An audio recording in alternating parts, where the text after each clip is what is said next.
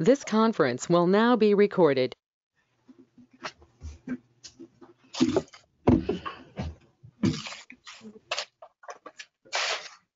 Hi, good evening. At uh, this point in time, I'd like to call the uh, meeting of the Planning and Zoning Commission to order. This is our Monday, April 12th, 2021 meeting. If we'd all please rise for the Pledge of Allegiance. I pledge allegiance to the flag of the United States of America and to the republic for which it stands, one nation, under God, indivisible, with liberty and justice for all. And before we get started, I introduce the members of the uh, commission that are here this evening. I'd just like to start off with just giving some uh, overview as far as how this go-to meeting is going to be conducted. Uh, If your mic, your microphone is uh, not muted, please mute it. If it's not possible, please be conscious of the noise around you, as microphones on different devices have different uh, levels of sensitivity. And the go-to meeting system does not deal well with multiple sim- simultaneous speakers. The audio from only one person will come through at a time. Therefore, please only speak if I acknowledge or recognize you.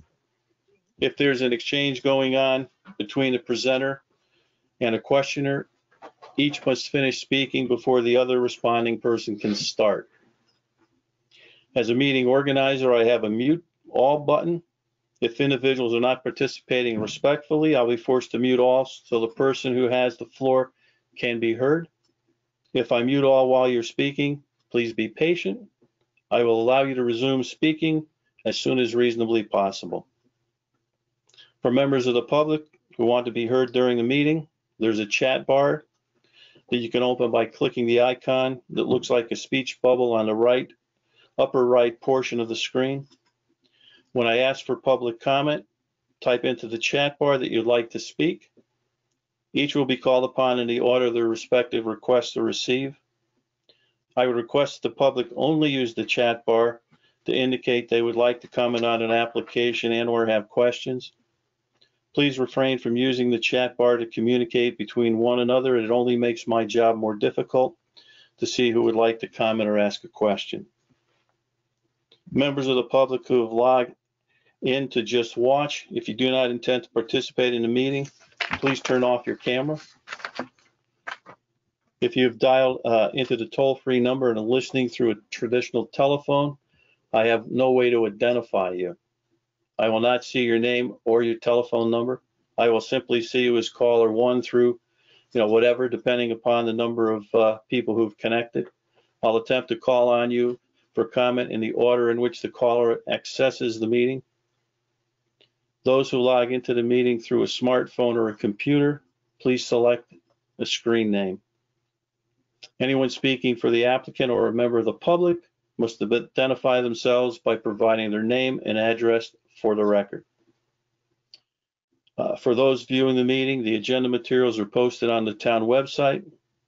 There's a tab on the right uh, side, second below the heading, this week's meeting. So that is generally how we're going to uh, conduct this evening's meeting. You know, at this point in time, I'd uh, like to introduce the uh, members of the commission that are uh, here this evening. I see we have Mr. Benoit, who is our vice chairperson. Uh, We have uh, Mr. Fitzsimmons, who is a commission member, and I know I saw Mr. Cohen. We have Mr. Cohen. Uh, Mr. Matarazzo, I'm searching for you because you indicated to me you would be here. And we have Mr. Matarazzo, who is our, uh, our secretary. Uh, we also have, uh, Jamie Hine, who is a uh, alternate on the commission. Also here is, uh, Tom Talbot, who is our acting town planner. Cheryl Ann Tubby, who is our recording secretary. Amy Torrey, who is our uh, zoning enforcement officer. And I'm Jim Seichter. I'm the uh, chairperson. And I believe I've noted every uh, member of the commission or staff that's here this evening. So with that, it brings us to our uh, first order of business, which is consideration of our minutes of our consideration for approval of our minutes of our March 8th, 2021 meeting. Does any commission members have any comments, additions, corrections to the minutes? And if there are none, then I would entertain a motion on uh, that or motion to accept the minutes. Mr. Chairman, I make a motion that we accept the uh, March 8th, 2021 minutes. We have a motion to accept the minutes. Uh, Do we have a second? Mr. Chairman, I'll second. Second by Mr. Fitzsimmons. Uh, All in favor? Aye. Aye. Any opposed? Any abstentions? With that, the uh, minutes are, uh, minutes are approved. Brings us now to our, uh, before we get to our first order of business, I'd like to make an announcement as far as what applications will not be heard this evening. First is a uh, public hearing. It's a special permit convenience store fueling facility for 7-Eleven. Uh, The applicant uh, has again requested uh, that we continue the uh, public hearing until our May meeting. Apparently, they are still waiting for some information from the Department of Transportation. So that will be continued. The uh, next item is item number three, which is a special permit for 1070 North Farms Road LLC. Uh, That application is, uh, that applicant rather has also requested that we take no action on the application uh, as uh, their traffic study is uh, still in the process of being reviewed by a peer reviewer and uh, they would like to, again, have that continued to uh, our May meeting as uh, they would like to have the uh, peer review study completed. Which brings us to uh, our first item that we'll uh, hear tonight, which is a, uh, it's a public hearing. It's a special permit for warehousing for Montani construction at 5 Research Parkway. Again, with this, the applicant has requested that we uh, open the public hearing, but continue it until uh, our May meeting, and the applicant is not uh, making any presentation. So at this point in time, I would simply ask uh, that uh, Mr. Matarazzo, if you would read the uh, public hearing notice, if you would. Um, Mr. Chairman, be, be, uh, point, point of order, if I could, on this. Um, so my, my understanding, the way it's written here is we're gonna open the special permit, but basically we're gonna continue it to next month. That's There's not correct. gonna be any discussion. Public won't be allowed to speak. There's no application presentation. That's correct. So, you know, my, my question is, by doing this, you know, if we open it tonight, it starts the clock ticking, correct? Yeah. And, you know, does this cause us as a commission, you know, any problem, you know, as far as uh, reviewing this application? it, it to me if we open it it doesn't allow the public it it it takes away a meeting from public comment as well um so i'm i'm just wondering um are we doing a disservice to us and the public if we actually open this and start the clock without doing anything tonight Well, I don't believe we are because I don't see how we're doing disservice. We're, the, the application, the applicant's not making a presentation. So to a large degree, there's really nothing, you know, nothing to discuss because there's, the application is not being presented. Uh, You know, I talked to our corporate counsel and she didn't have any uh, concern with doing that. As far as, you know, the clock running, it, it puts the applicant in a position, doesn't put us in a position. Uh, There was an application, and I believe it was an application on this property uh, probably a year ago, two years ago, whatever. And uh, it came to, I I believe there were some commission members you know, that were concerned in, in uh, the fact that we were, that the applicant ran out of time. And I think that was one of the reasons why at least one or two commission members, uh, you know, didn't, uh, or didn't feel comfortable approving the application because the applicant ran out of time. So, I mean, I'm looking at it, it puts the commission, it puts the applicant in a, uh, in, in a position where, you know, if we run out of time, if there's additional information that we're looking for and we're up against the clock, uh, that's the applicant's, you know, that's the applicant's problem. Also, I believe, Mr. Talbot, you can correct me, but with the executive orders, uh, the governor's executive orders, the time period on application where it needs to be acted on is extended by about three months or so. Yeah, it's still, it's. It's still, I mean, there is certainly plenty of time. Uh, I think it's about six months, much like the application for 7-Eleven. We heard that application in January, correct? And that clock doesn't run out of that until June. Is that correct? Right, Yeah. right, right. Uh, So again, this is, this is what the applicants requested. I've talked to our town attorney on it. And, uh, she's, uh, excuse me, our corporate counsel, and she doesn't have an issue with it. She said it's a, you know, proper thing to do. Okay, I, I appreciate the uh, explanation and I'm fine with it. I really, you know, just wanted to have it on the record. So I, I appreciate it, Mr. Chairman. I- Clearly, this is, I think for all the, excuse me, for all the times I've been on the commission, I think this has been the first time that this has been, uh, you know, this has been requested. Yep, thank you. Sure. So again, Mr. Matarazzo, if you please uh, read the legal notice. Mr. Chairman, we have a legal notice number 401-21, special permit for a 219,000 square foot warehouse facility on 179.85 acres on property located at 5 Research Parkway, zones IX uh, WPD. Okay, thank you. Mr. Matarazzo, I'll ask you to just hold off noting all the items for the uh, record, and that will be done at our, uh, at the May meeting.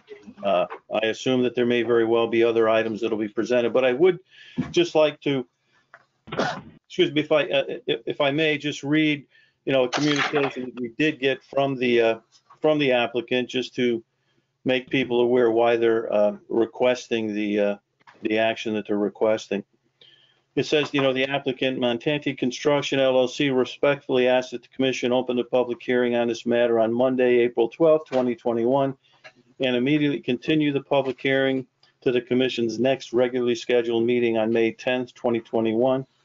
The reason for this continuance is to allow additional time for the applicant to respond to comments and questions that have been raised by town staff and the commission's peer review consultant the applicant would present the application to the commission on May 10th. So with that, again, we have opened the uh, public hearing. There's no other comments from the commission. I'd entertain a motion to continue this to our uh, May meeting.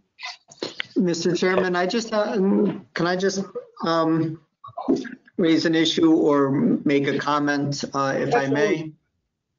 Uh, Thank you, Mr. Chairman. Um, My concern is a little bit um, different um, than Commissioner Cohen's, and and that is just um, timing, uh, in in terms of timing. Um, My concern is that um, this application, as we know, it's going to, this is a major project that may um, expand or, or drag on over, um, you know, a couple months as opposed to just one, one meeting.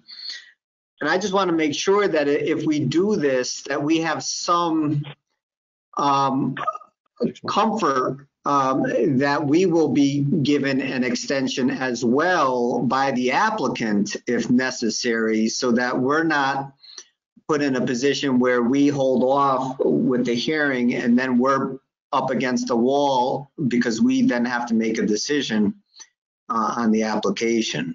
Uh, Mr. That's- Kelly, do you wanna- Yeah, um, wh- wh- when you use the term,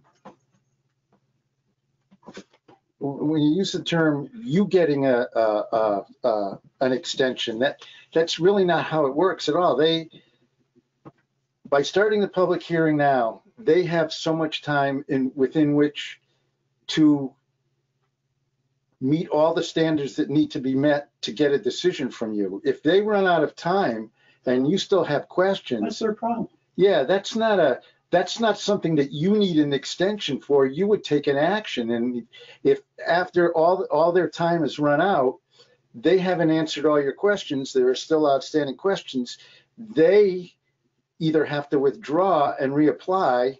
And if they would, and if they didn't, then you would be compelled to deny the application. You're not, the reason they did this was because number one, they got a wet, they got approval for their wetlands application last Wednesday.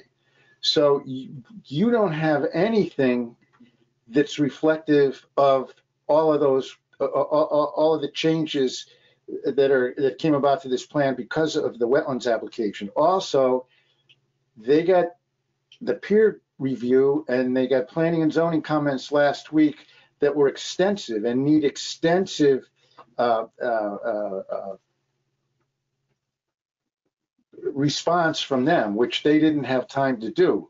If, if you had started the public hearing tonight, you would have ended up, it, it- would have been a, well, we're working on that, we're working on that, we're working on that, we're working on that. They've decided to wait until next month when some of this has been resolved. So you're not, the commission's not being put at a disadvantage and the public's not being put at a disadvantage in any way, shape or form by, by, by this.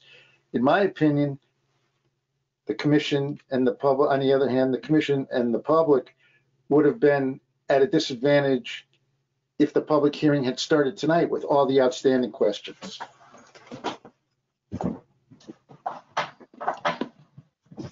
And, and I appreciate that response. Um, th- Thank you, um, Mr. Talbot. Uh, And I don't, I don't uh, disagree with anything that you said in terms of, uh, of not starting the meeting um, or, or or the hearing tonight. I, I think that makes perfect sense not to start the hearing tonight. Uh, But I know in the past, there have been times where issues have come up that we were not expecting, and we've politely asked an applicant if they would grant us an extension. Um, and for the most part, they have. Um, uh, sometimes we may want to get a, uh, an opinion from the legal department on something that has come up in a hearing or something to that effect. Um, and, and that's my only concern. I know we've done it in the past. We've asked applicants in the past for extensions. Um, there's provisions in the, um, in the statute itself that allows for extensions, but only at the, um, with the approval of the applicant. Um, and so I just, you know, I, that, that's my only concern. I know it's come up in the past. I know we've asked for extensions in the past. Um, and I, I just, I think it'd be helpful to know, to, to have some level of comfort that the applicant will um, reciprocate if we need some extra time as well. No, I, again, I appreciate your comments, but I mean, at the end of the day, if the commission, if, if we are quote up against the clock, or if the, I won't say we are up against the clock, the applicant is up against the clock. If the commission needs additional information on the application, uh, it would behoove then the applicant to uh, grant an extension. If they didn't grant an extension and the commission was still looking for information, it would be my opinion, we would be very approve, uh, we would be very foolish to approve an application that we still feel we need additional information on. So I, I, I don't have a, I don't have a concern with that, quite frankly. With that, uh. Thank you, Mr. Chairman. Sure.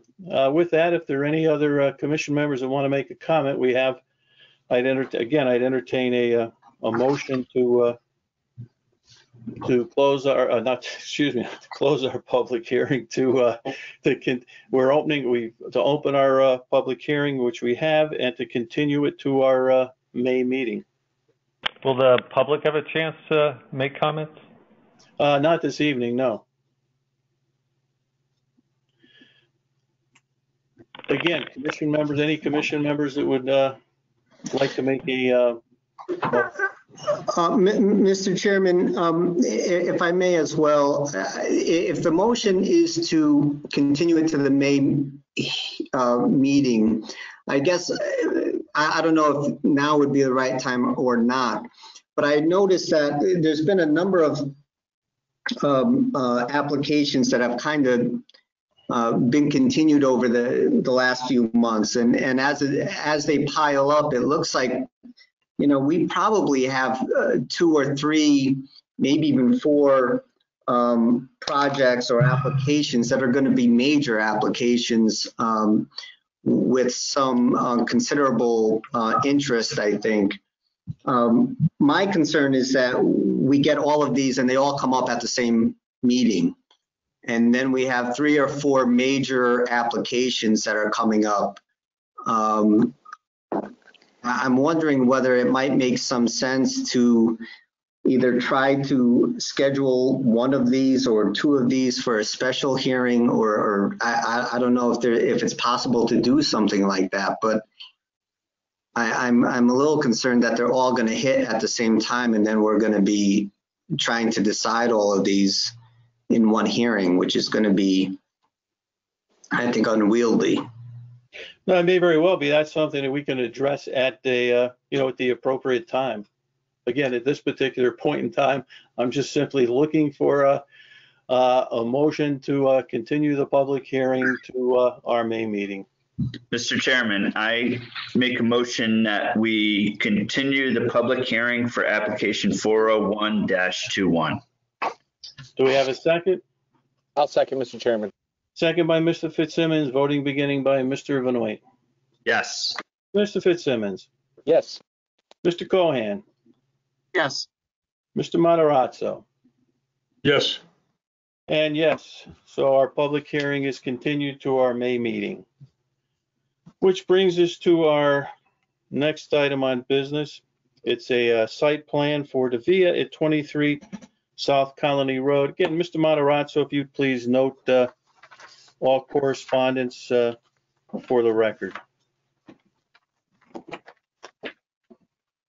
Mr. Chairman, we have a uh, interdepartmental referral dated February 8th, 2021, um, signed by the, I believe it's a fire marshal, looks like.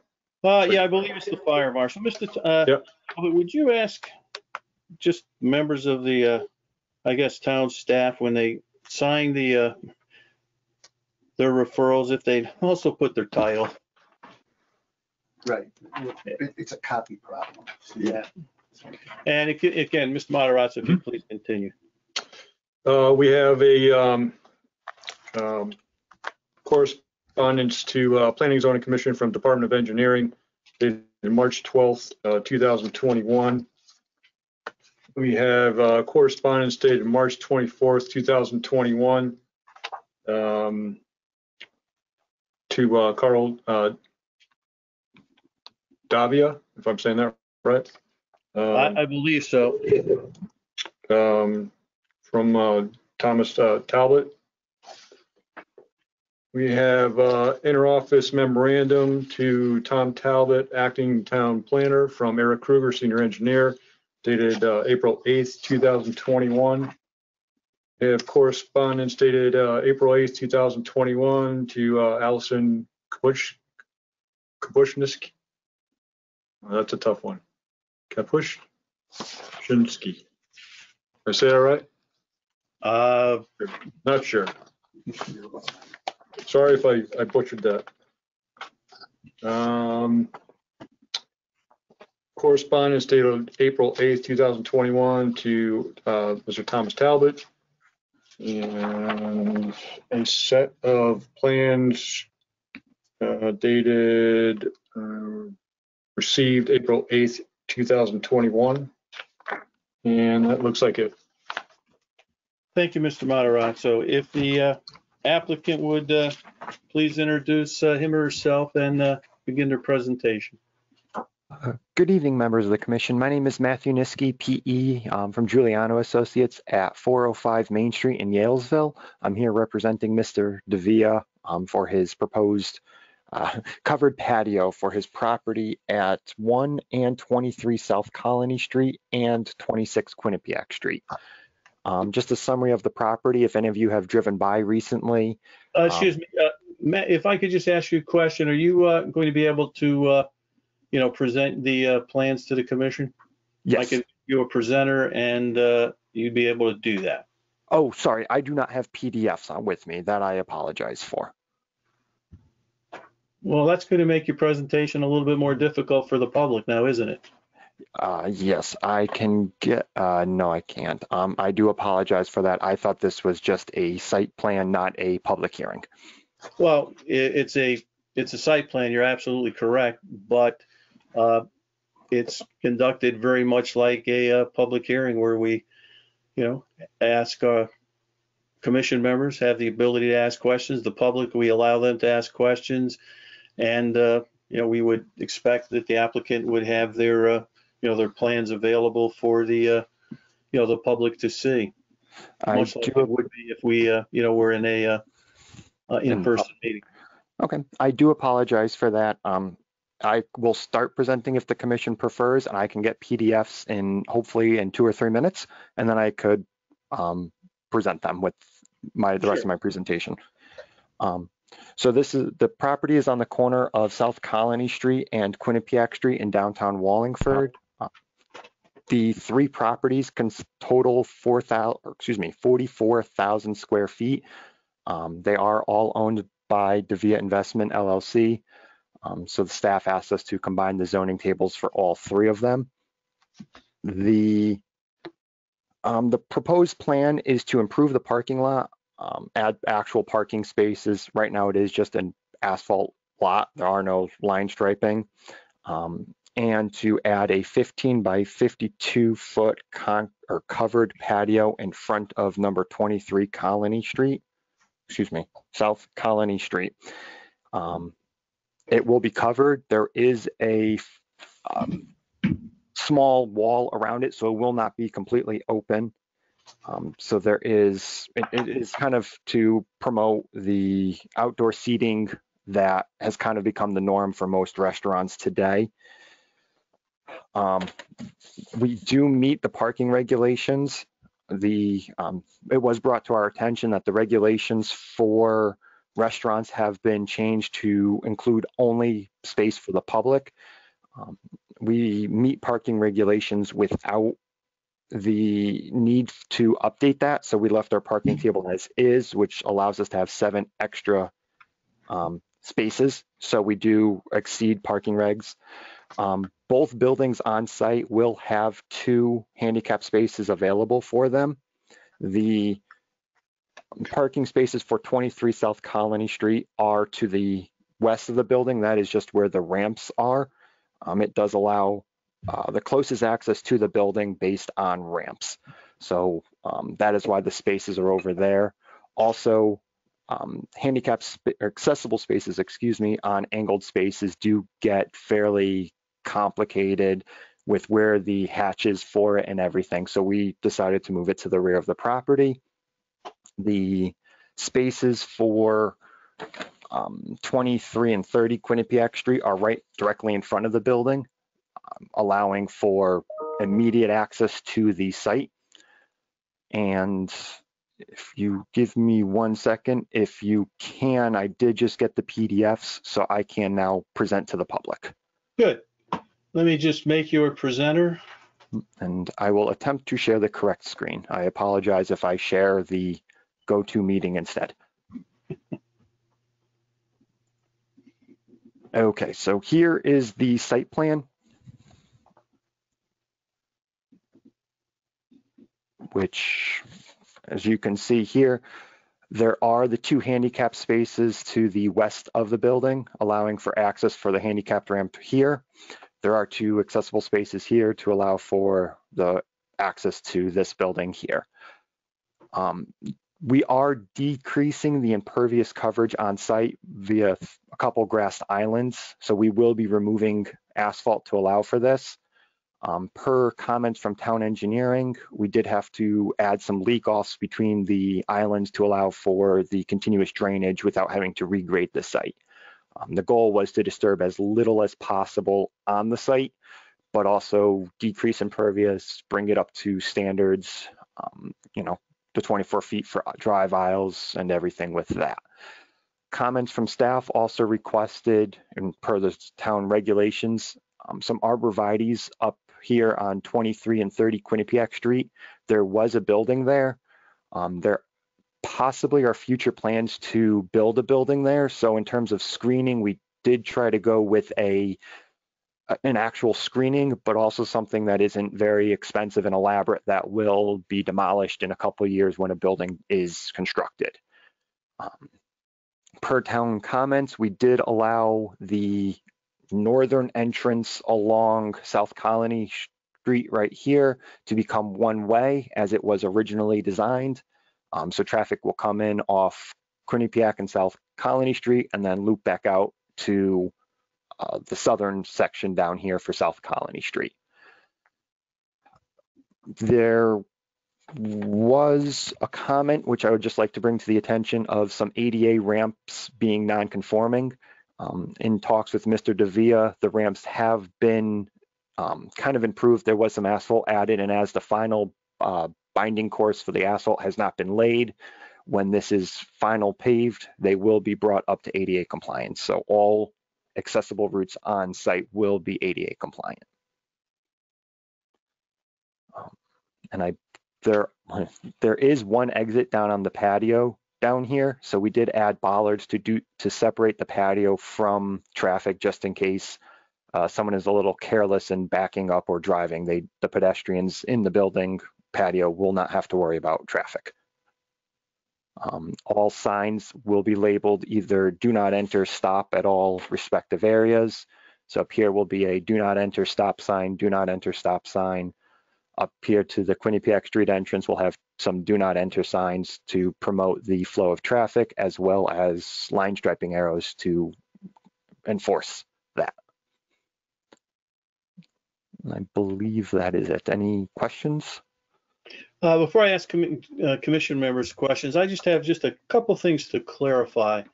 You know, when I was looking at the, uh, you know, at the plans on the, uh, on South Colony Street, you know, the, uh, the asphalt that you, that you're going to, uh, remove and create an island there.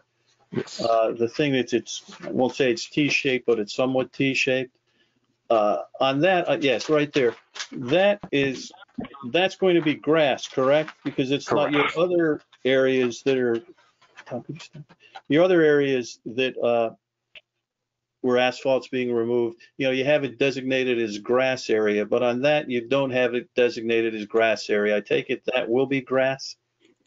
You are correct. Yes, all islands will become grassed islands. Okay, so that could be designated as grass. And then just one, you know, last thing, when I look at the uh, handicap parking spaces, it would be on the west, uh, the west side of the, uh, of the building.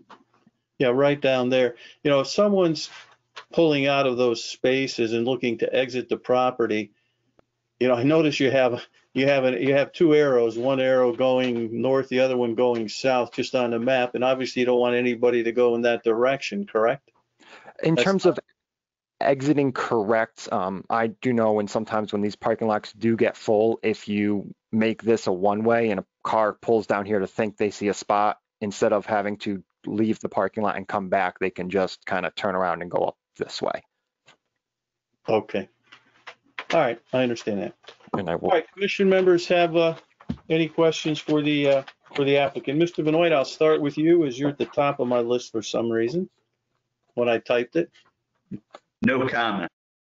Mr. Fitzsimmons,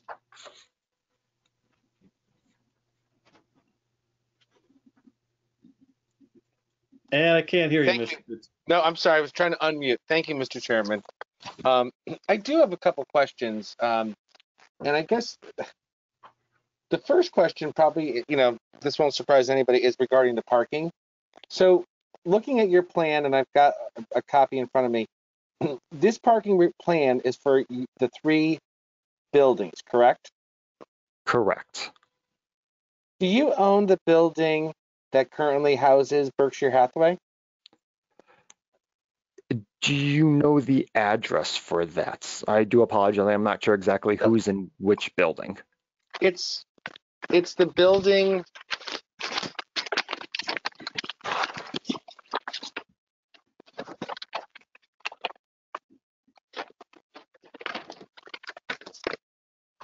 It's a building with a decorative wall. That is right- owned by Devia Investments LLC, so it is under the same ownership as the other par- parcels, yes. So your parking that you're providing provides parking for all three buildings, correct? You That's- I- All right, only because it's, it's not labeled on the plan, I'm thinking, well, that's your building. I just want to make sure, because you label the first building one South Colony, and then you label 23 South Colony, but the other building doesn't have a label. And I'm thinking, it is part of this, right?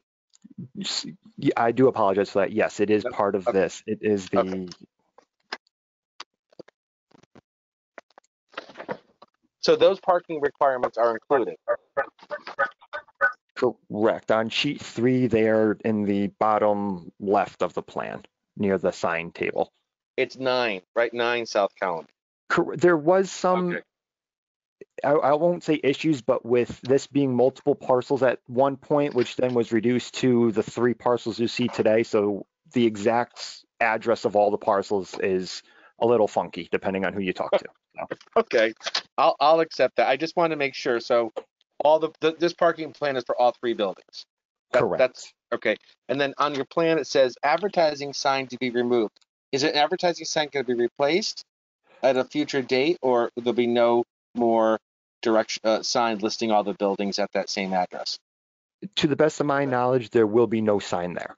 So uh, Okay. there is not plans to replace it at this time. All right.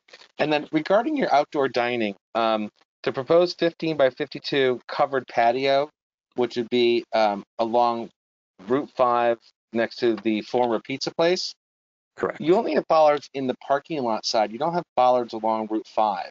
And I, I drove by that over the weekend and again today, looking at it, thinking, what type of screening are you proposed, or not only just screening, but safety um, for having seating so close to Route 5? The, that section of Route 5 is curbed. There is the sidewalk there. Other than that, there is just a deck, we'll call it a decorative wall for the patio. Um, there was no bollards proposed for that. There is no direct, we'll call it traffic go, coming directly into it. Um, that is also a one-way, so there shouldn't be any, uh, shouldn't, um, cars pointing directly at it. Um, so we would just have issues with South Colony Street with cars coming southbound on that. The only suggestion request I would make is maybe adding a bollard because if somebody incorrectly comes in and it's an out of control vehicle, there's only two bollards to stop a car from striking seated diners. You see, if- you see what that is?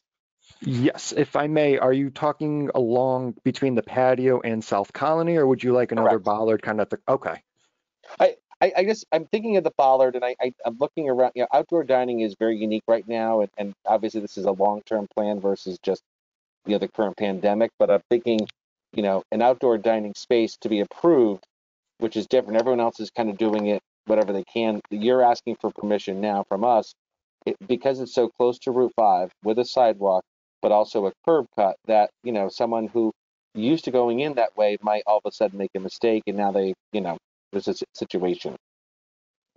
okay. Um, I will have to confirm with Mr. Davia on that, but I believe bollards, um, if we were to do five foot on center, if that works, should be adequate for protection for the patio. All right. And then the last thing I'd, I'd mention, thank you. The last thing I'd mention is the handicap parking spaces, because if you if you want to access that former pizza restaurant, and I'm sure it's a future restaurant, and you had a handicap pass, you'd have the only spots are quite a distance from that doorway entrance. And I wasn't sure if the ramp there is ADA compliant, you know, going to the sidewalk and is it possible to relocate one of your handicap spaces to um, closer to Route, the South Colony section? It was looked at splitting up the spaces, so there was one here and one over and um, near South Colony. Both Hmm. ramps will be ADA compliant. Um, it just becomes when the parking for handicapped is angled, the regulations kind of restrict what can go near it.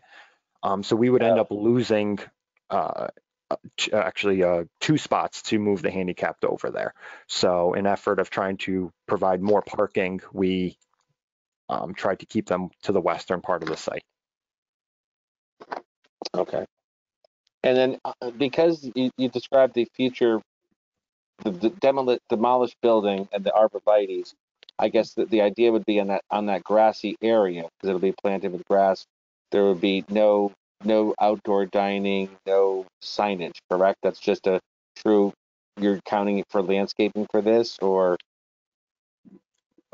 We, there will be no signage there. Um, we are just considering it a vacant space right now. Um, the plan was to eventually put in a building, but instead of leaving it asphalt, rip up the asphalt now, put a, some grass in, and grass is a little easier to move around later rather than having to rip up the asphalt at a later date.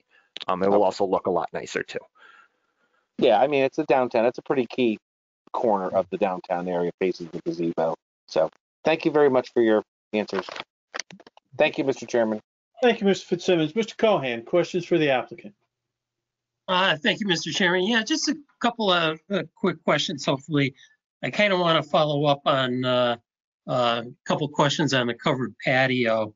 Um, So the, the, the side of the patio along South Colony, it looks like that's going to be a four foot, eight inch wall. That is the separating distance from the patio to the property line. Okay, what, what, what kind of wall is going to be alongside there? It is proposed to be a 42 inch high wall, um, more of a decorative kind of a privacy wall. So when you're sitting there, you could look over it, but it's more of a uh, decorative wall to kind of just provide a little bit of privacy for the patrons. Okay, and um, uh, how, is the patio going to be accessed? Will it be just from the uh, sidewalk, or will it be other ways to gain access to it? The plan is to have all the patrons enter through the existing building. There is an exit uh, right here, um, but that is proposed to only be an exit from the patio. So patrons will come into the restaurant, eat, and then leave through this, either through the building or through this exit right here, which they can then come onto the sidewalk if they wish. Okay, and the, the, again, the la- last question. So the the patio is going to be, to a certain extent, open air. It's not going to be fully enclosed. Correct. It is a covered patio. Right. Okay, I'm I'm good. Thank you. Thank you. Thank you, Mr. Cohen. Uh, Mr. Matarazzo, any questions for the applicant? No, sir. All set. Thank you. And Mr. Hine, any, uh, any questions for the applicant? Uh, No, Mr. Chairman, my main issue was uh, where the do not enter signs were going to be located, and I think that was addressed already, so thank you. Okay, good.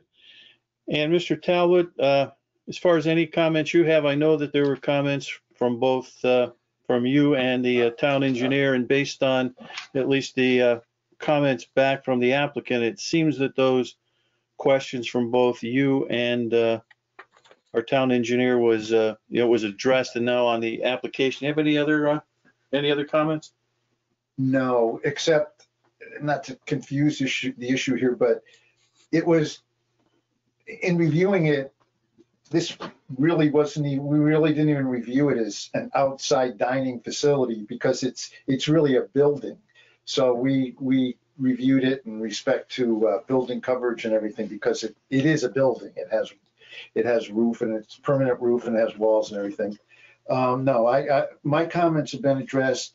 I think uh, any comments of the town engineer that have not been addressed, could be, uh, could be made a condition of approval. And I think, I think most of them have been, but if there are any that aren't, uh, the town engineer did make it clear to me that they could be, they could be conditional.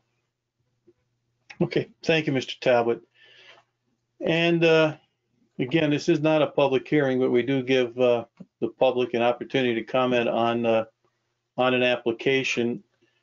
And I'll look at the chat bar to see if there are any, uh, any individuals that would like to uh, comment on the application. And at this point in time, I do not see any. And I'll just give a quick, uh, quick minute for anybody that would like to comment. Please just uh, type in on the chat bar that you'd like to comment or have a question.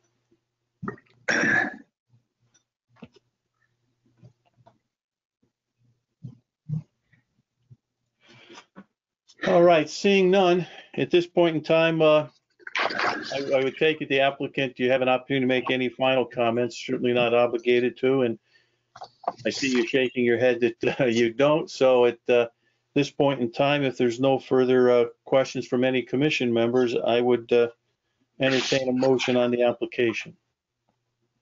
Mr. Chairman, I make a motion that we approve application 205-21 site plan for Devea for a 780 square foot addition and site improvement improvements at 1 and 23 South Colony Road and 26 Quinnipiac Street as shown on plans entitled Land of Devea Investments LLC, number one, and number 23 South Colony Road and 26 Quinnipiac Street dated 10/8/2020 revised uh, to subject, I'm sorry, subject to uh, one comment and interoffice memorandum from the fire marshal to the planning and zoning department dated uh, March 12, 2021. Number two, comments and interoffice memorandum from Department of Engineering to Thomas Talbot, uh, planner dated uh, March 12, 2021. Three, comments in letter from Tom Talbot, planner to applicant dated March 24, 2021. Four, amending plans to reference South Colony Street instead of South Colony Road. Number five, comments in interoffice memorandum from Eric Kruger, Senior Engineer, Water and Sewer Division to Thomas Talbot, planner dated April 8, 2021. And six, Bollards added per discussion with town planner. Thank you, uh, Mr. Benoit. We have a uh, motion on the application. Do we have a second? I'll second, Mr. Chairman. Second by Mr. Fitzsimmons, voting beginning with Mr. Benoit. Yes. Mr. Fitzsimmons, Yes, Mr. Cohen, Yes, Mr. Matarazzo, Yes, and I vote yes. uh, The uh, application's been approved. Uh, Have a good evening, sir. Thank you very much. Have a You're good night. welcome. Okay, it brings us to our uh, next item, which is a site plan accessory apartment for uh, Chase at 99 Mapleview Road. And uh, again, Mr. Matarazzo, if you would uh, please note uh, all correspondence for the record. Mr. Chairman, we have an interdepartmental referral uh, dated February 22nd, 2021, signed by the town engineer. We have correspondence dated March 18, 2021 to Rodney and Pamela Chase from um, Thomas Talbot, uh, acting planner, and a floor plan submittal with no, no date uh, referencing the application. And we have just right. Interest right. 21. Uh, interoffice um, memorandum to Tom Talbot, acting town planner, from Eric Kruger, senior engineer, dated April 8th, 2021. And that would be it. Thank you, Mr. Matarazzo. If the applicant and/or uh, its representative would please introduce themselves and uh, begin their presentation. Hi there, I'm Pam, and this is Rod Chassie. So we're not prepared to present online. I didn't realize that was a, a expectation. I wasn't told. I have papers in front of me, and I submitted all the paperwork as I was asked to to all the members of the committee. Will that be sufficient? Well, I, from, you know, my standpoint, when I was looking at, it, I was having, uh, quite frankly, a kind of a difficult time looking at the information that you provided to us and then the sketch that you provided to us, just how this all, you know, all works. And I, doesn't take much to confuse me, but, and I'm certainly a little confused on it, just where, uh, you, you've given us, you know, one sheet with your lower level, uh, and it shows, you know, some area that's, that's covered in, you know, in green that initially I assumed was your accessory apartment, and then you gave us another, you know, another sketch of the accessory apartment, and I'm just having a tough time matching it up. Okay, so, And I just Um, think- I mean, it's difficult for me. I don't know if it's difficult for other commission members uh, also, and certainly for any members of the public that are, you know, that are looking without, you know, having that information in front of them. You know, again, I, it's an accessory apartment and generally it's, you know, these are, I, I don't, I hate to say the word routine, but generally uh, things that don't take very much time, but, uh, you know, in this particular case, without, at least for me, without the benefit of, you know, having uh, the information on the screen, so you can make your presentation and I can ask you questions on it. I, I guess I, I guess ask, I'd ask other commission members just uh, if there's have the same issues or uh, what their general feelings are. So if I, if I could just speak um, briefly, I wanna- thank you. Um, I want to say the initial site that we shared with you, shaded in green, came back unapproved. And so probably that wouldn't be the one to look at, but rather the one then that we submitted thereafter, which was approved. Yeah, well, yeah, I understand that, but I'm, I'm, again, I'm trying to match that up with what you gave us and I just can't do it. You're trying to match up the second one to the first one? Is that what I understand you're saying to me? Yes, exactly. Okay, so I don't know how that would match up either, and I'm not sure that it's even supposed to. So um, I try to create that with someone that works in your department based on what I understood. And after it wasn't accepted, we actually hired um, a contractor to go into the accessory apartment and measure out all of the rooms and create the plan that you see in front of you on the graph paper. So you can see each room as it's laid out with its appropriate dimensions. That comes to 681 square feet, which also matches what's on the original um, property card. Yeah, again, when I'm, again, when I'm looking at it, I, I'm having a tough time doing that. I guess I ask other commission members if they're, have the same issues that, that I have. And again, maybe it's just me and I can't quite figure it out. Mr. Chair, other- can I make a comment? Excuse me? Can I make a comment? I just want to show Oh, yes. you, this is, on. Sure. this is, this is what I'm seeing. Yeah, that, no, that's exactly what I'm seeing. This I don't have I'm trying, but I'm trying to figure out where that fits in on the uh, sketch of the, uh, you know, of, of the property. Is it, you don't have this piece of paper? I don't see what you're putting up on the screen. You can't see it. Well, Well, this is what we submitted. I don't, I'm not sure what you had. That's not what we submitted. That looks like something that was submitted originally, and then there was something else that was submitted, and we got a letter saying that it was approved. So I it's don't believe, a, I, I, I don't believe you've got a letter saying it was approved because it would be the commission that would be uh, approving it. was approved. I don't think there was anything that was approved. He just said it was okay. I I guess, I, I- Mr. Fitzsimmons, I always look for you for a little. Maybe I am being too dense here. No, you're not. You're you're you're not. But I, I guess I, I I I- I'm kind of making it out, having been to the site. You know, I'm kind of making it out based upon this the the rough sketch. Um, Right. But I, I, if I could, Mr. Chairman, can I ask a question? Oh, absolutely.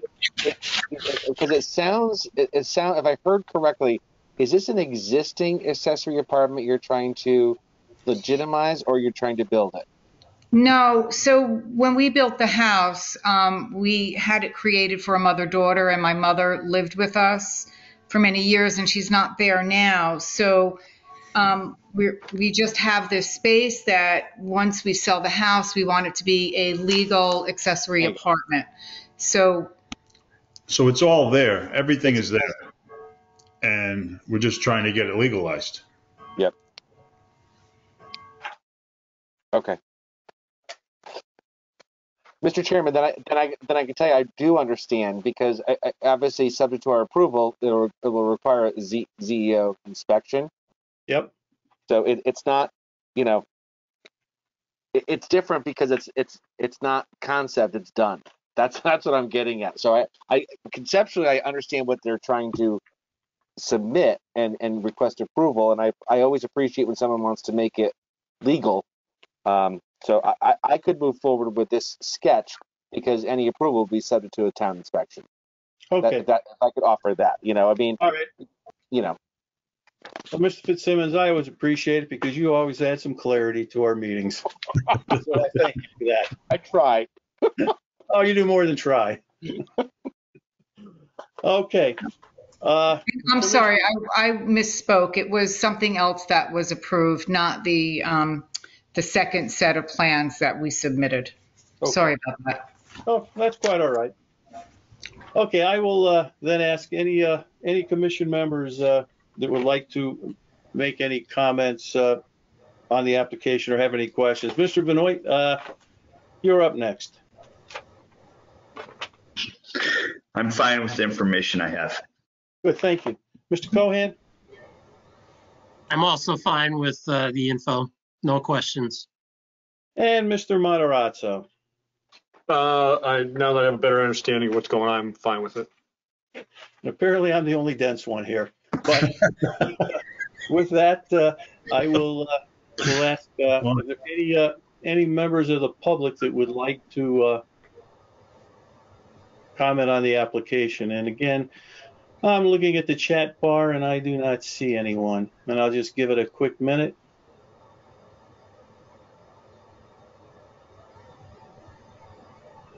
And with this, I'll go back to the, uh, the applicant, uh, again, Mrs. Chase, do you have any final comments that you would, uh, like to make?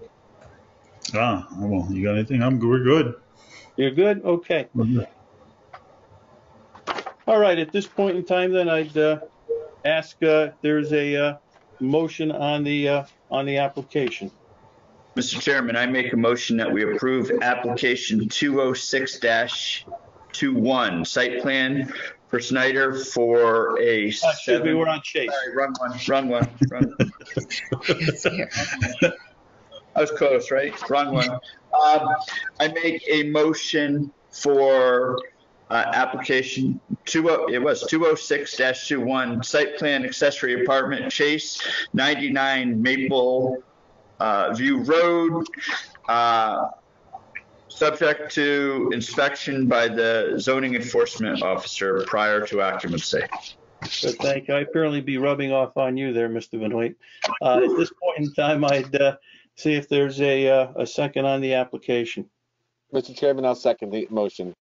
Good, we have a second by Mr. Fitzsimmons. Voting beginning with Mr. Benoit. Yeah. Uh, Mr. Fitzsimmons, Yes. Mr. Cohen, Yes. uh, Mr. Matarazzo. Yes. And also I vote yes, uh, your application's been approved. Uh, have a good evening. Thank Thank you. you. You're welcome. Moving on, site plan accessory apartment Snyder at 3 Saddle uh, Lane. Again, Mr. Benoit, if you would please note all correspondence for the record. I'd love to, but I'd love to pass that on to uh, our secretary. Oh, I'm sorry. I'm sorry. Uh, Mr. Matarazzo, please. Mr. Chairman, we have a interdepartmental referral dated March 8th, 2021, signed by the town engineer.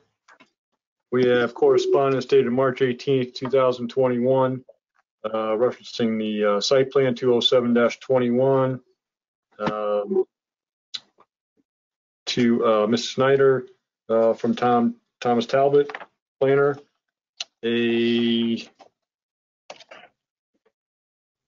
want to say a set of plans, but a plan dated um, April 5th, 2021. And a uh, interdepartmental referral dated March 4th, 2021, signed by the senior engineer. Thank you, uh, Mr. Matarazzo. And again, if the applicant and or its representative would uh, begin their, uh, introduce themselves and begin their presentation. Hi, good evening. Uh, My name is John Gable. I'm with Connecticut Consulting Engineers, located at 1 Prestige Drive in Meriden. Uh, We are here on behalf of the owners and applicants, Jeff and Laura Schneider. We are proposing. And Mr. Cable, are you willing, are you able to uh, put your presentation on the screen of uh, the application? yes, uh, Good. Okay, I'm going to make you a presenter and uh, there you go. can you see that drawing? Yes, we can. Thank you. Okay, good. Okay, so uh, our site is located at uh, 3 Saddle Lane. Uh, It's about uh, almost an acre in size. Uh, It's located in the uh, RU40 zone. We are proposing to put an addition on the existing dwelling. It's next to the garage right here. And we're also doing interior renovations in this area here. This is the uh, floor layout. I believe this is the first floor here, and this is the second floor here, showing the proposed addition and some renovations in the exist over existing garage here. So our, our application is pretty straightforward. Uh, we do conform to the accessory uh, uh, structure code uh, about the 780 square feet. We are proposing only 766 square feet uh, of uh, the accessory uh, addition. And we also conform to the uh, uh, yard setbacks, the front, side, and rear, and also the coverage for the, uh, for the lot. Like I said, it was a pretty straightforward application. I believe there was some correspondence from Tom Talbot to the, to the applicant, which he had, I guess we addressed, uh, was addressed by the designer of the, uh, I guess they had some comments regarding the uh, square footage, was sort of- which was addressed. Uh, An issue with the entryway with the common hallway area, which has been addressed, and something with the shared bathroom in this area. So uh, they, uh, I believe they all have been addressed with uh, Tom Talbot. I think the plans were submitted on Monday, uh, the 5th, I believe, April 5th, Monday. And I'd like to see if the commission members or staff has any additional comments. Sure. Uh, Before, thank you. Before I do that, Mr. Talbot, uh, again, your issues have been addressed. Is that correct? Yeah, so I'll accept for, um,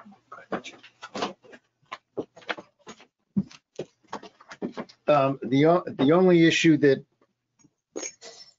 can't be addressed on the plan and should be made a condition of approval would be that, um, this accessory apartment can't be built unless they do the second floor addition over the existing house, because that's the only way that the uh, proposed accessory apartment complies with the accessory apartment uh, regulations. That's where the shared wall, there, that's where the shared, the required shared wall will be. So uh, I, my suggestion is that if you're going to approve this accessory apartment, it has to be conditioned with the fact that the second floor addition of the main house has to be done either at the same time or before the accessory apartment can be built.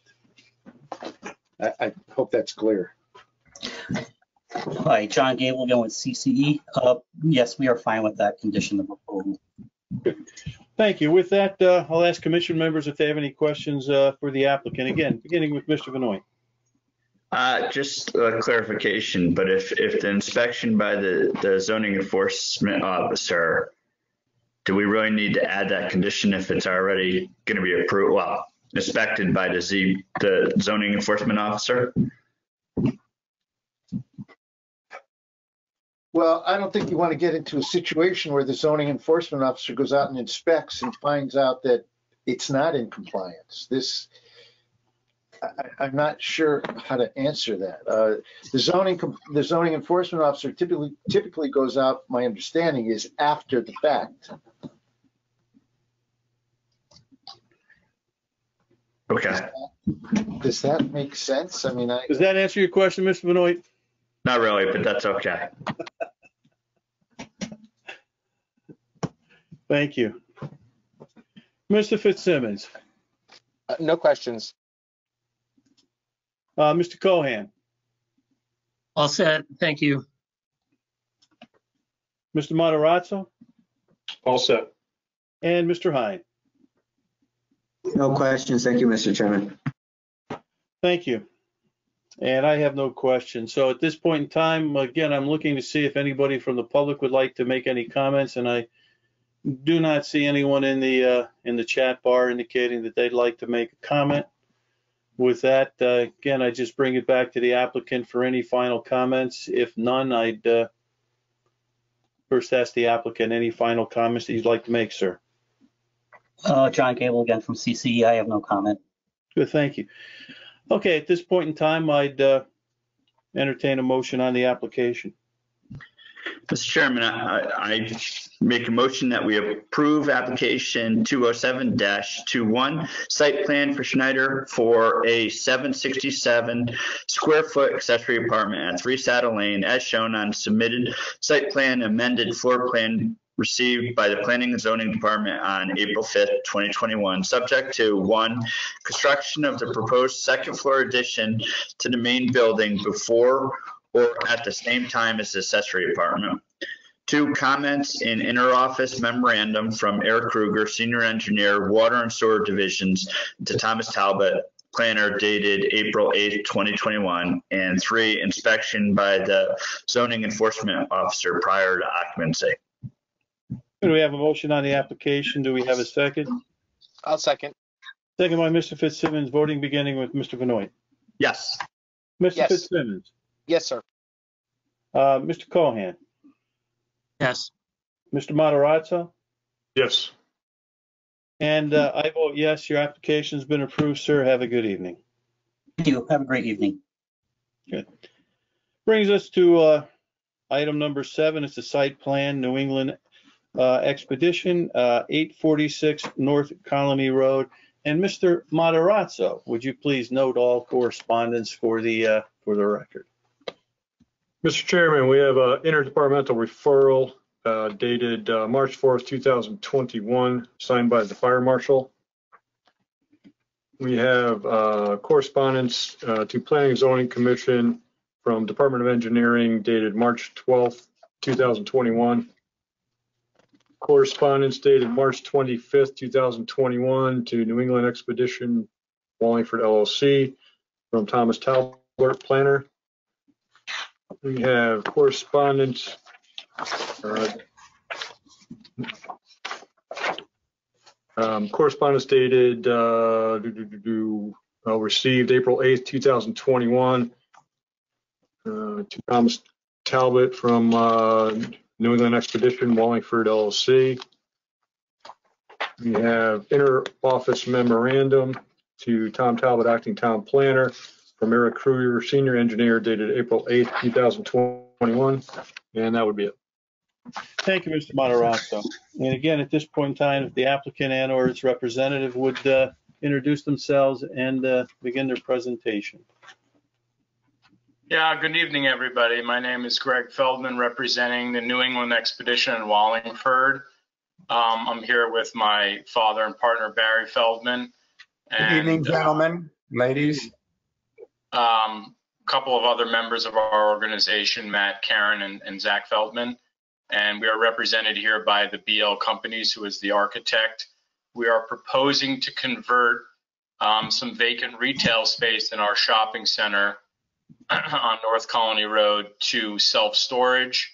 The improvements would be primarily interior with some just light uh, changes to the facade for signage and some uh, coloring and whatnot. And um, it And would be Mr. Feldman, less. before I, excuse me, before I interrupt, uh, apologize for interrupting you, but uh, are you prepared to put your plans so we can uh, see them on the uh, screen? Yes, we have the plans available. We can answer questions or walk you through them. Okay, and uh, will you be, uh, will you be the presenter? No, I'm gonna, I'm gonna turn it over to uh, Andrew Graves from BL Companies, who I believe is gonna present on our behalf. Okay, if you could just wait one second so I can find him.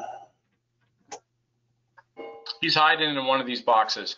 Up, upper, upper left-hand corner. Feels like Hollywood Squares or something. Yeah, I'm looking for you uh, on the, uh, Tom, could you stop that, please? I'm trying to find you. And again, your name again is? Andrew Graves. Andrew Graves. Somehow I cannot, oh, there we go. Graves. Yep, I, I have you now. And I'm just going to hit you as a presenter.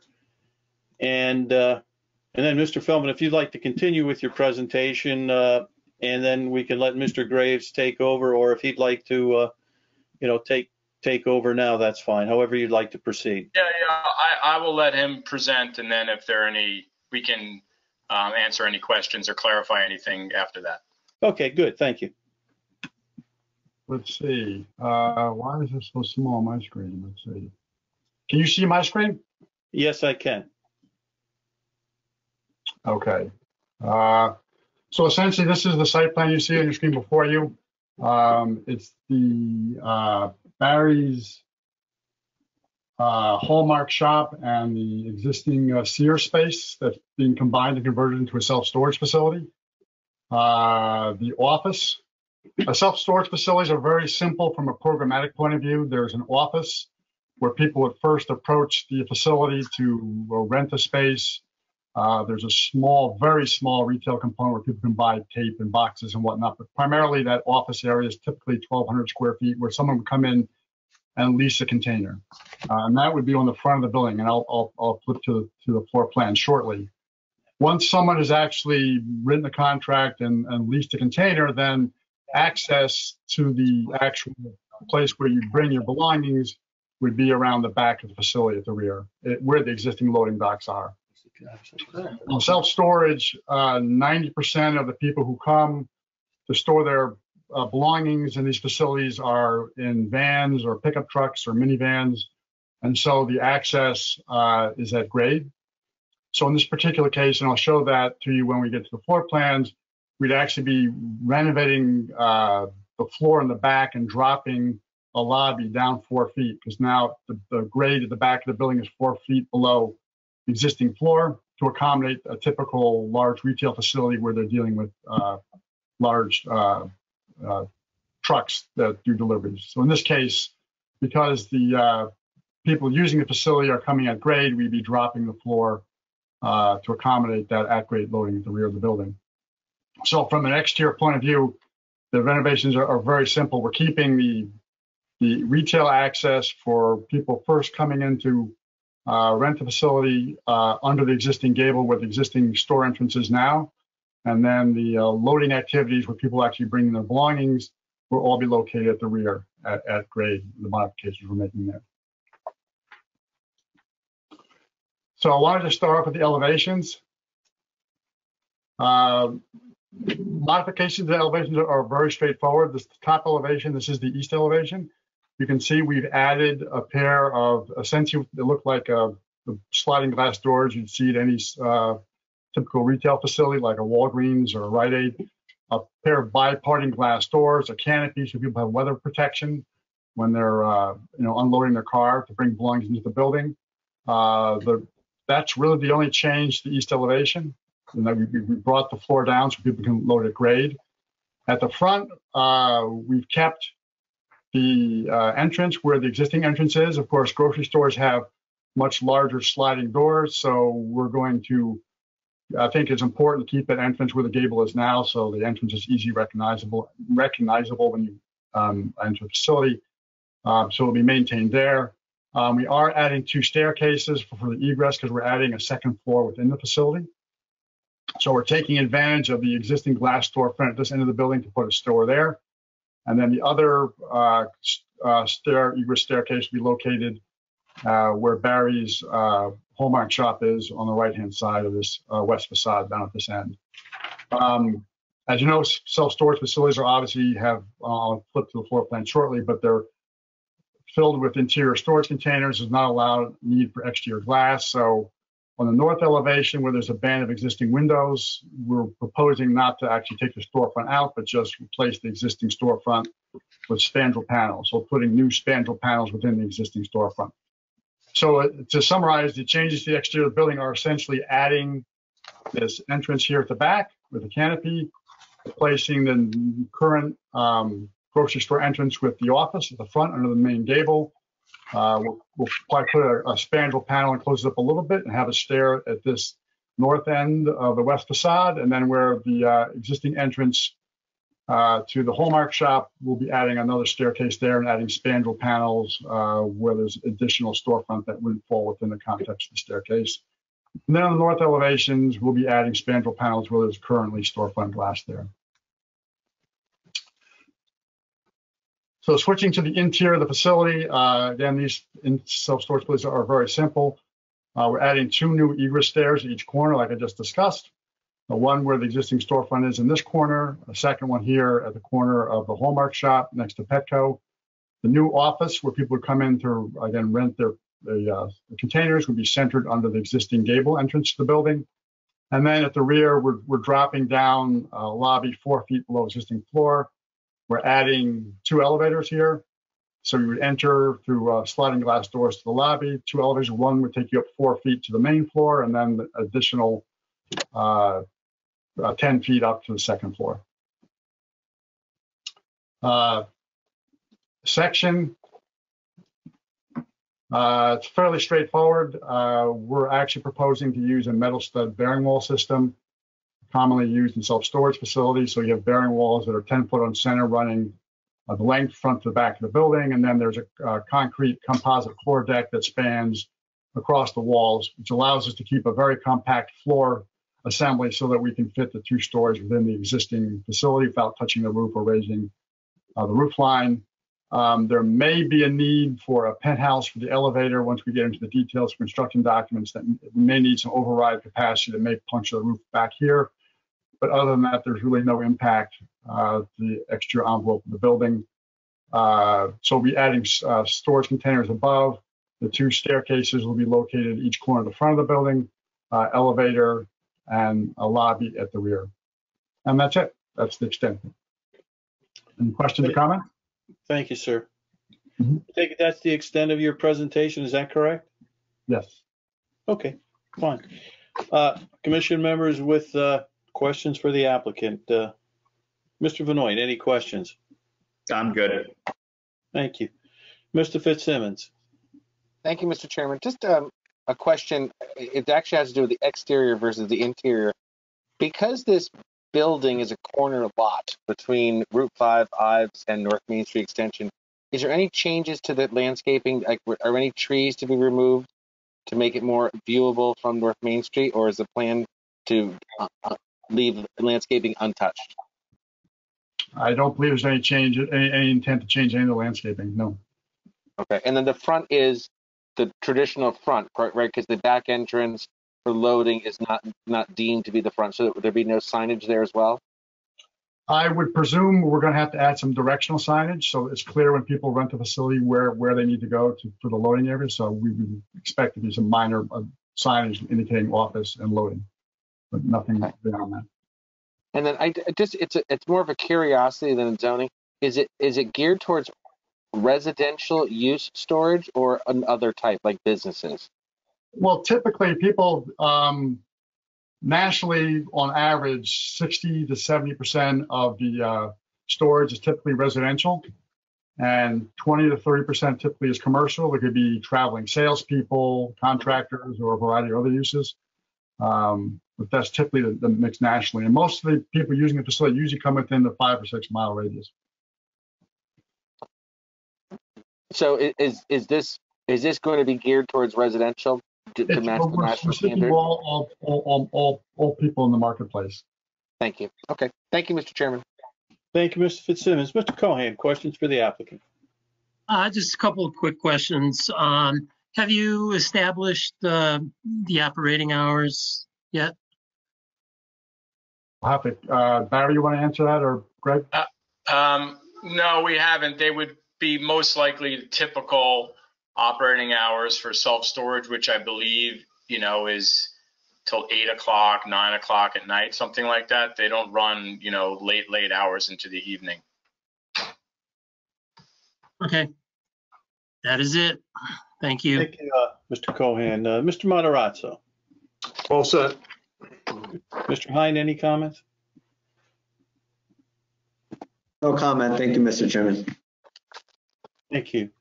And uh, again, I just ask any members of the public who like to comment. I don't see anybody's typed anything into our chat bar. And from my standpoint, I do not have any comments. So at this point in time, I think the applicant chooses not to make any final comments. That being said, I would, uh, at this point in time, entertain a uh, motion on the, uh, on the application. Mr. Chairman, Yes, Ms. Fitzsimmons. I apologize. One, one other question. I did, wasn't sure if someone else would raise it. This application is strictly for inside self-storage, right? So we're not gonna see the parking lot with boats and campers? Correct. Would that be accept, would that be acceptable as a condition in your motion? No outside storage? Yes, I think your Okay. gentleman's answer is, uh, your answer would be yes, is that correct? yes. Thank you. Nothing further, Mr. Chairman. Thank you, Mr. Fitzsimmons. Again, at this point in time, uh, I don't see any further questions from uh, commission members. I would uh, entertain a, uh, a motion on the application. Mr. Chairman, I, I make a motion that we approve application 208-21, site plan for 70,000 self, uh, square feet self-storage facility for the New England Expedition at 852 North Colony Road as shown on plans entitled Proposed Development, 852 North Colony Road, dated March 5th, 2021, uh, revised to April 7th, 2021, subject to one, comments an interoffice memorandum from the fire marshal to the planning and zoning department dated March uh, 12th, 2021. Two, comments in interoffice memorandum from Eric Kruger, senior engineer, water and sewer divisions to Thomas Talbot, planner dated April 8, 2021. Three, comments in interoffice memoranda from Department of Engineering to Thomas Talbot, planner dated March 12, 2021. And four, no outside storage. Thank you. We have a motion on the application. Do we have a second? I'll second, Mr. Chairman. Second by Mr. Fitzsimmons, voting beginning with Mr. Benoit. Yes. Uh, Mr. Fitzsimmons, Yes, Mr. Cohen, Yes. Mr. Matarazzo, Yes. and I vote yes. Uh, Your application's been approved, gentlemen. Have a good evening. Great. Thank you, sir. You're welcome. Appreciate it. Thank you. Thank you very much, gentlemen. You're welcome. Thank you. Okay, it brings us now to uh, our bond releases and reductions. And uh, Mr. Talbot, are all of these set to be released or reduced? Uh, both. We have, Both number eight and number nine are ready for release. They've been inspected. okay, do we have an application uh, on the releases of these bonds as recommended by uh, Mr. Talbot? Mr. Chairman, I make a motion that we uh, release the bonds for application 412-09, special permit Sonic Restaurant Mesite Family Partnership, 1033 North Colony Road, and application 205-17, site plan Govea 1339 uh, Whirlwind Hill Road. We have a motion to release both of the uh, bonds. Do we have a second? second? Second by Mr. Fitzsimmons. All in favor? Aye. Aye. Abstentions? And with that, uh, moving on to uh, reports from uh, offices- officers and staff, we have uh, ZBA decisions for uh, March 15th, 2021. Does anyone have any uh, questions on that?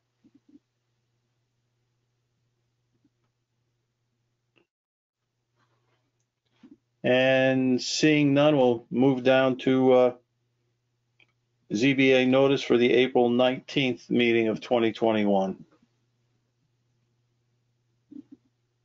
Any questions or comments?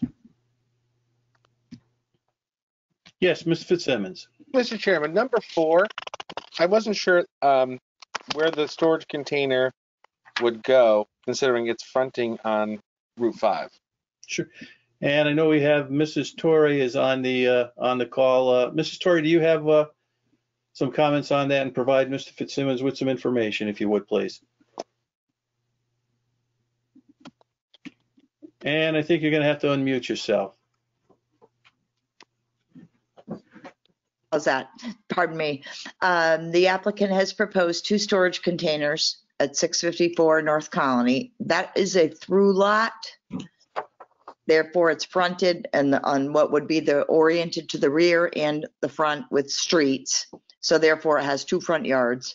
Right. So actually, they're proposing to have two storage containers. I believe one is eight by 12 and one eight by 20, if I'm re- remembering, or uh, pardon me, eight by 40 and eight by 20 um, to the site, which would be located in proximity to Old North Colony Road, which happens to be a front yard, but it is in the rear of the orientation.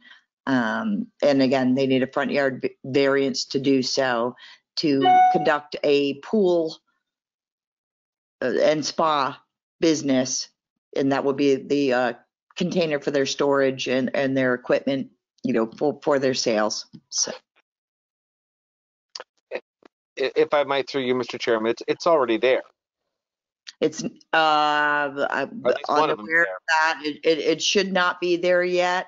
Um, but I, I, I can't comment as, as such. They are proposing to add them.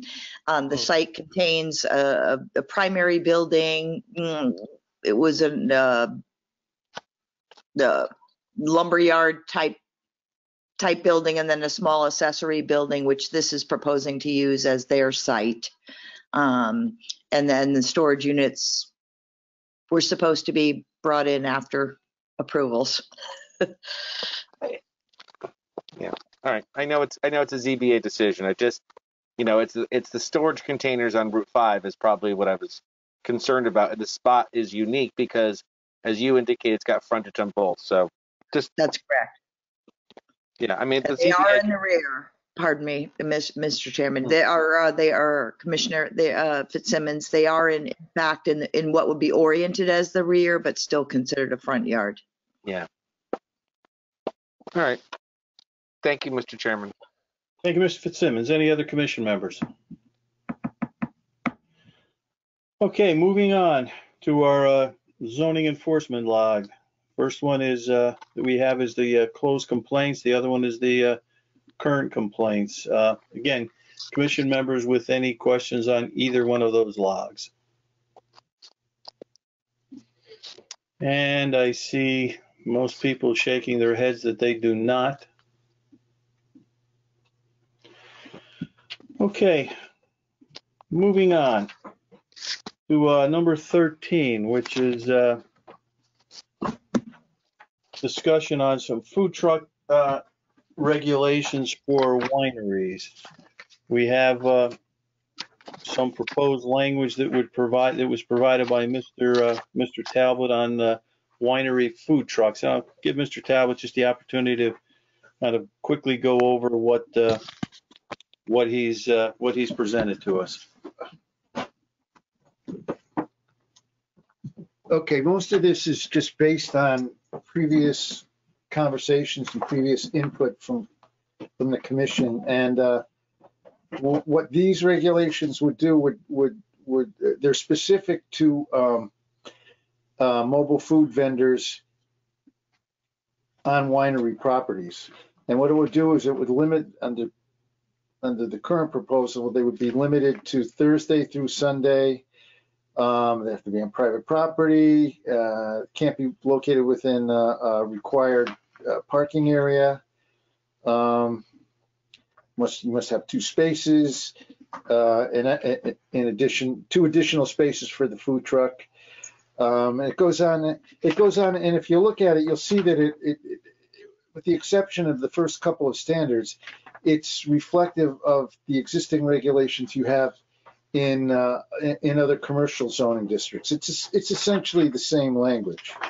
Um, and I, I did, I keep doing this and I'm not sure whether I should, but I keep including this section about deletions from the residential districts. There are, there are some, some of these existing regulations are in residential districts are extremely um, permissive and I think could be a problem.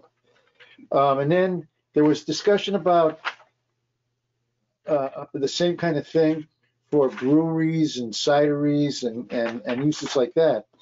And when I look through the regulations, it, it seems to me as though there's already language in all of the commercial zoning districts for these food trucks that could be applied to breweries and cideries. Um, because the only place they're permitted under current regulations would be in those commercial districts. There's no, um, th- there's no provision for a cidery or for a brewery in a residential district. The only operation of, of that type that's permitted in a, in a, in a, in a residential district is a winery. So um, unless there's something in the existing regulations for um, uh, non-residential districts that you'd like to change, um, it looks like what you have might, might suffice.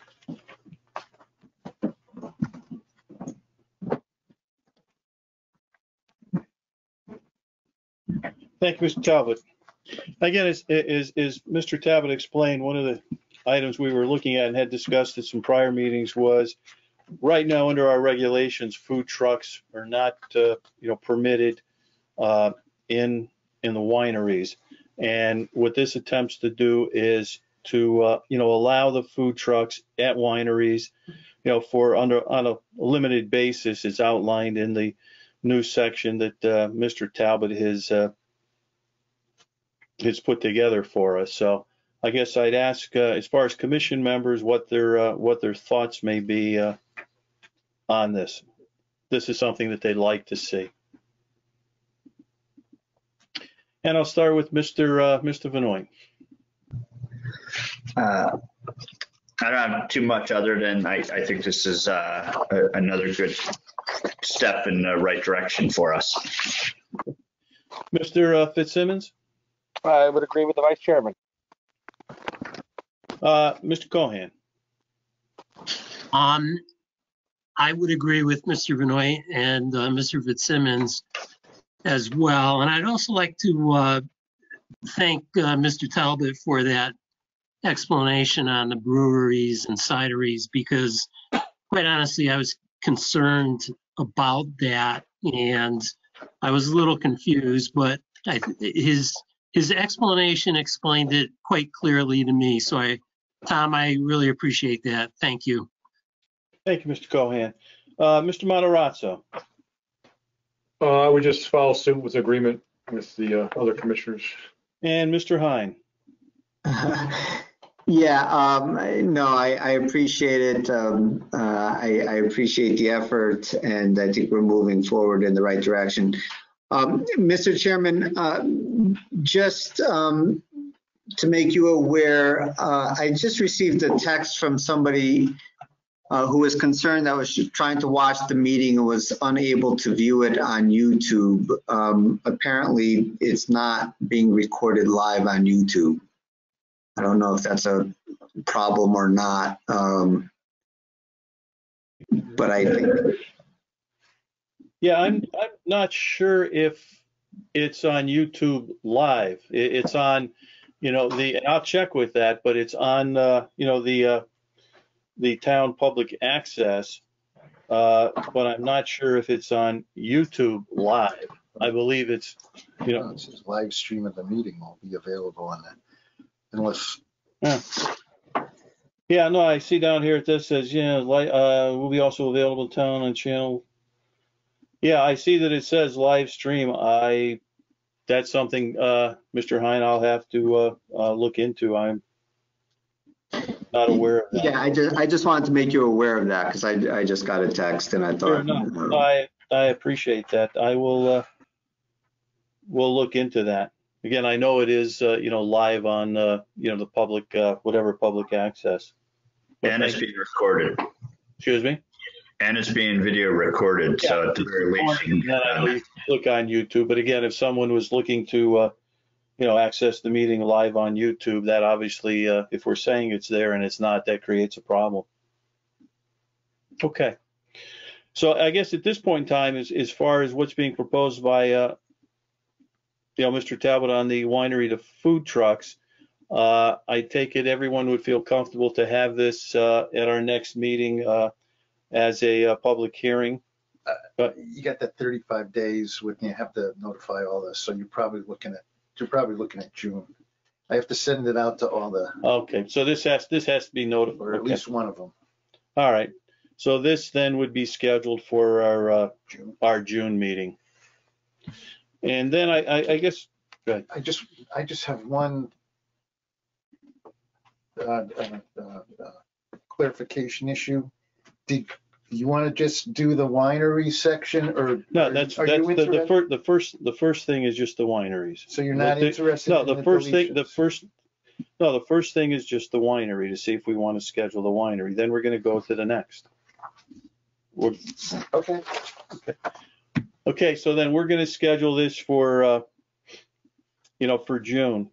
And then flipping to the, uh, second page that Mr. Talbot, uh, had proposed here is to delete the food trucks. Essentially, we're deleting them from, you know, the residential, uh, residential areas, uh, as well as the, uh, I guess it's the, uh, Central Limited Business District, as well as the Yalesville Limited Business District, I believe. Uh, So th- again, that's something that uh, I think we want to give, you know, some consideration to, as well as, as far as where we, as you drop, drop down to existing regulations in, uh, you know, non-residential districts, as we go farther down. You know, it lists various commercial districts that we, uh, that they would be allowed in. Uh, I guess the one thing that I'll, I'll bring up and, and I don't, at this point in time, look for, uh, you know, any commitment from any commission members. And Mr. Talbot, correct me if I'm, I- I'm wrong. The town, and for our town center district, food trucks would not be allowed. Is that correct? Because that's, when I look at the various districts, it's not listed. No, that's, well, I was asked not to put it in there. Yeah, no, I just, that's just my Because- question. No, they're permitted, but there, there's, there's a difference. No, I think they're permitted. uh, I'm gonna have to bear with me here. Um,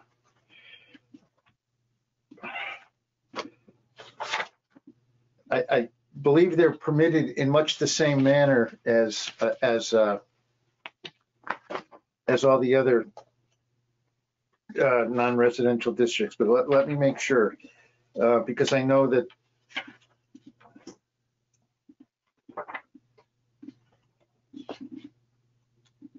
um, I think by Mm, mm, mm, mm, mm, okay, um, um, um, food trucks, let's see. Uh, bicycle parking, um, um,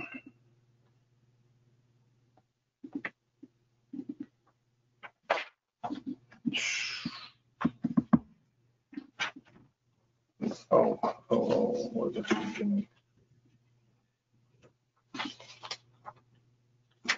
All right, um.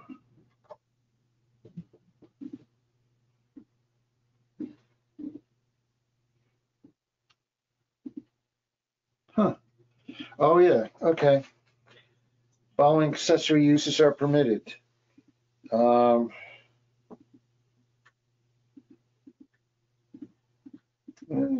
Well, limited activities associated with special events and sales are permitted at, at, at a permitted business. uh, including outside sales of merchandise, special events that are gonna mobile food vendors, or the serving of catered beverage, uh, catered and foods or beverages. Um, I think, I thought, thought it was somewhere else in here too, but, um, I'm gonna have to look. I think that's something that we're going to, uh, you know, to have to look into, uh, you know, to see, uh, Because there's if, more if, in here. if, we're gonna have to look at to see if our regulations, uh, allow that or not. And then whether they do or whether they don't, then I think that we need to have a, uh, a discussion on that to see if in fact that that's something that we do want to allow, if they're not, uh, if it's not allowed, other than uh, apparently for perhaps special events. The, the other consideration is, if I'm not mistaken, uh, by town ordinance,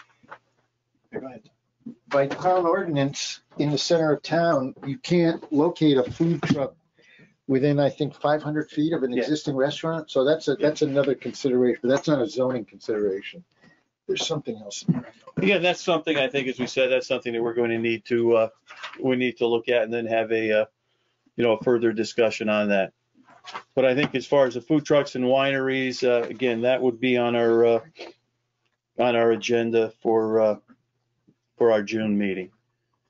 Any other comments commission members, uh, would like to, uh, make on food trucks at the moment? And I see everyone shaking their heads no, so we will, uh, we will move on to our next uh, item on our agenda, which is uh, Connecticut General Statutes uh, 824. It's the uh, purchase of property at 100 uh, Barnes Road. And again, Mr. Matarazzo, if you please uh, read uh, again the correspondence that we've received from the uh, from the mayor's office.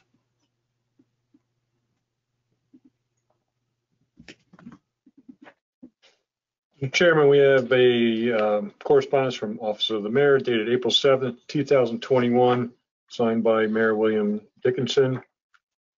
We have correspondence from Office of the Mayor dated April 6th, 2021, um, to Wallingford Town Council, signed again William uh, Dickinson, Mayor, and a uh, plot plan, um, image, uh, two plot plan images attached to that. Okay. And again, this is, uh, is the letter from the mayor indicates the, uh, town of Wallingford is interested in purchasing, pro- purchasing property at 100 Barnes Road, uh, to repurpose the building to be used by the Wallingford Police Department. And then as Mr. Matarazzo indicated, there's a, uh letter, uh, uh, attached to the, town council because they would need to act on this, this item. And there's also a map. Are there any, commission members that may have any, uh, any questions? Yes, Mr. Cohen. Thank you, Mr. Chairman. Uh, Just one question. Um, Is a police station a permitted use in this zone? Good question. Um, I believe it is because I believe it's government buildings, but Yeah. I believe Mr. Talbot is going to be thumbing through the, uh, our regulations right now. I believe I looked and saw that it was, but we will, Almost positive. Uh, 4.9.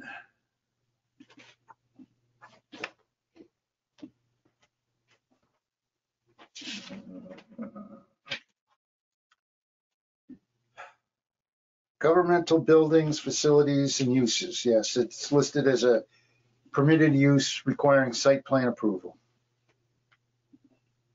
Okay, thank you. any other commission members? Seeing none, I would, uh, then entertain a, uh, motion on this, uh, on this item. Mr. Chairman, uh, I make a motion, um, what, so what, what is really the motion? Just acceptance of the letter? You're, you're, Approving an eight, uh, Yeah, you're approving a, an eight twenty-four action, which essentially, which essentially involves you, um, um, stating that the, that the proposed use of the property is in conformance with the town zoning regulations and plan of development. Okay. So, Mr. Chairman, I, I make a motion that we uh, approve uh, the CGS 8-24 purchase of property 100 Barnes uh, Road as it conforms with our local regulations. We have a, uh, we have a motion by, uh, Mr. Benoit. Do we have a second by Mr. Fitzsimmons? I'll second, but Yes, go ahead. I'll second, but should we also reference the, the plan of Plan of conservation? and development? Conservation and Development. If you'd As like to add that amended. to your, uh, As motion, amended. Mr. Benoit. I'll second his amendment. Thank you. Uh, we have a second by Mr. Fitzsimmons. Uh, all in favor? Aye. Opposed, abstention? Okay, moving on, we have one last item that I'd like to entertain a motion that we add uh, to our agenda. The item number 15 is the six-year capital and non-recurring budget for 2021 to 2027. And uh, Mr. Matarazzo, if you would please uh, just note the uh, letter from the uh, Office of the Mayor for the record, as well as the, uh, as well as the budget. Mr. Chairman, we have uh, correspondence from Office of the Mayor dated March 22nd, 2021, to the Wallingford Planning and Zoning Commission from Mayor William Dickinson Jr. Um, And we have the uh, proposed uh, six-year capital budget as well. um, And just some notations uh, along with that. Any, uh, any commission, thank you, Mr. Matarazzo. Any, uh, commission members with any questions on the, uh, on the budget? Um, Yes, Mr. Cohen. y- yeah, just, it's not really a question. I don't recall seeing this in my packet, so. Yeah, um, no, it, uh, it wasn't, uh, I think if you look at the, somehow there was, uh, I sent an email. It was Oh, in email. It was in, uh, Jay, it was an email, uh, Mr. Cohen, that, uh, Mr. Talbot sent out. You know, I apologize. It, it, somehow there was a, uh, there was just a, a- a slip up. We should have had this earlier. As you can see, the mayor sent it to the, uh, you know, the planning office on March 22nd. And for some reason, uh, it was not included in our, uh, in our packet. Okay, good, good enough. Any other uh, commission members? All right, at this point in time, I'd uh, entertain a motion to, uh, apparently we're accepting the uh, six-year uh, capital and non-recurring budget for 2021 through 2027. Mr. Chairman, do we have to make a motion to add it to the agenda first and then Oh, act yeah, on it? Thank you. I, I had asked for, uh, I think I asked, You started. I started to ask for a motion, and then I just went off the rails. I started to do it and then you went on, so I just said, I'll, I'll wait. So, Mr. Chairman, I make a motion that we add the six-year capital non-recurring budget 2021 to 2027 to our Monday, April 12th, 2021, 7 o'clock Planning and Zoning Commission agenda. Thank you, Mr. Benoit. Do we have a second now? I'll second that. Second by Mr. Fitzsimmons. Uh, All in favor? Aye. Any opposed, any uh, abstain, uh, anybody abstaining? And I see none. So now at this particular point in time, Mr. Benoit, you're up for the, a motion to, uh, to approve. Mr. Chairman, I make a motion that we approve the six-year capital non-reoccurring budget for 2021 through 2027. And do we have a second?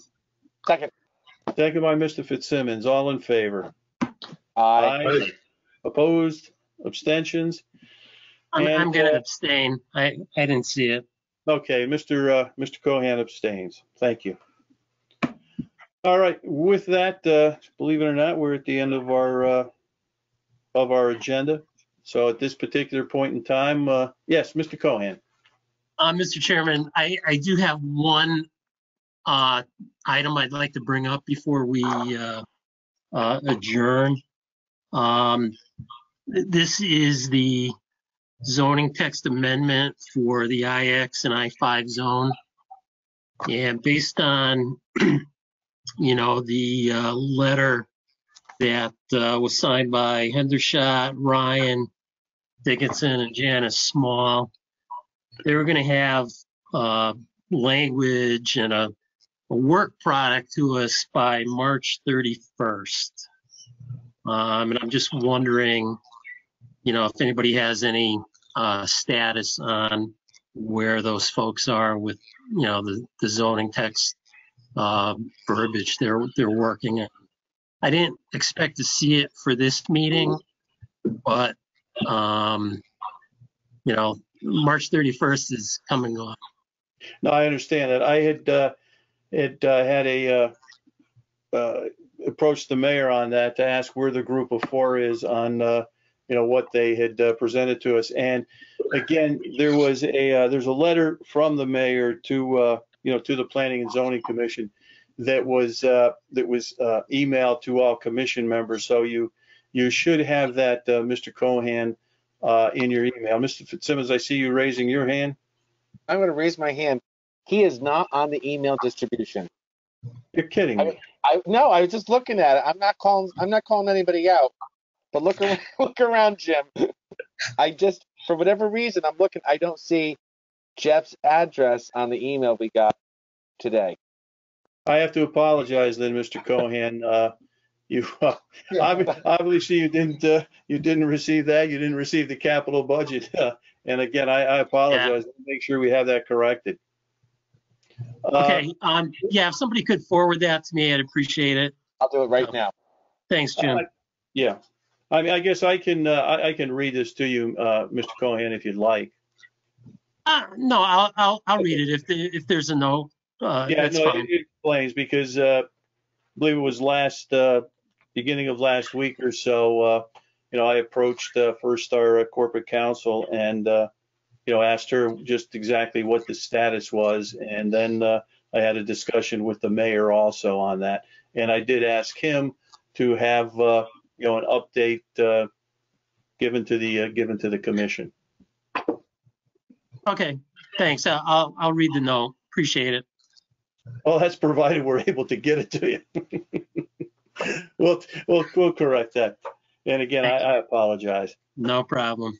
So at the end of the day now, or at the end of the evening, uh, we're at the end of our meeting. So at this point in time, I'd, uh, there's no other comments, questions from commission members. I'd indicate, uh, I'd rather entertain a motion to, uh, adjourn our meeting. Mr. Chairman, I make a motion that we adjourn the Monday, April 12th Planning and Zoning Commission meeting. And that's Mr. uh, Benoit, not Mr. Matarazzo, correct? Correct. I'm just kidding you. Uh, do we have a You want to do it for me? Do we have a second? I'll second that.